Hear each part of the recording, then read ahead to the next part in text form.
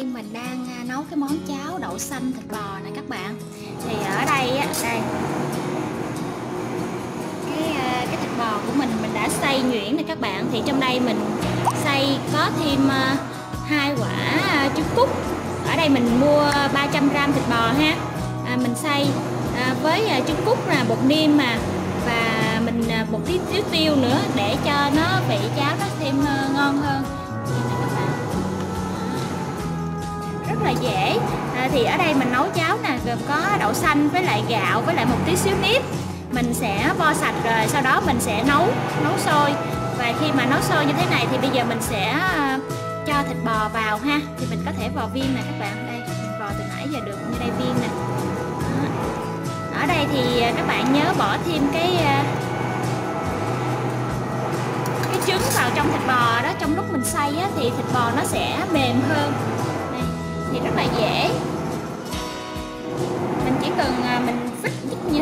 Bạn thì mình bỏ vào hoặc là bạn nào mà à, đây mình bỏ vào như thế này là được rồi.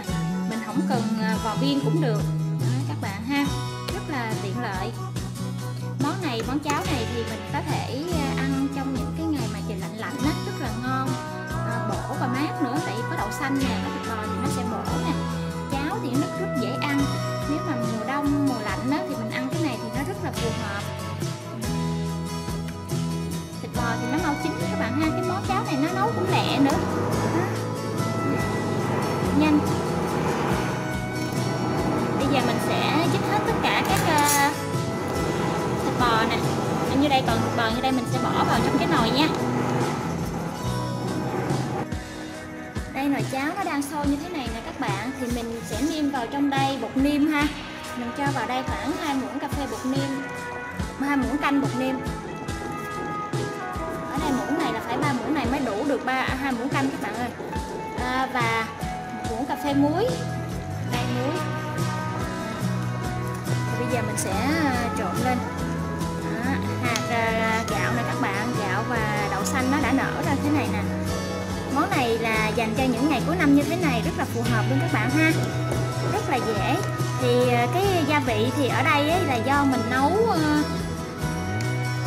theo kiểu ăn à, vừa thôi chứ không có mặn quá. Thì à, lúc này thì các bạn có thể nêm lại cho vừa khẩu vị của gia đình của mỗi nhà đó các bạn ha. Nên là rất là dễ. Ừ. Thì như thế này là đã chín rồi đó các bạn. Rồi cái món cháo đậu xanh thịt bò rất là đơn giản ha. Chúc cả nhà mình ngày mới thật là vui. Xin chào và hẹn gặp lại ở những video kế tiếp nha.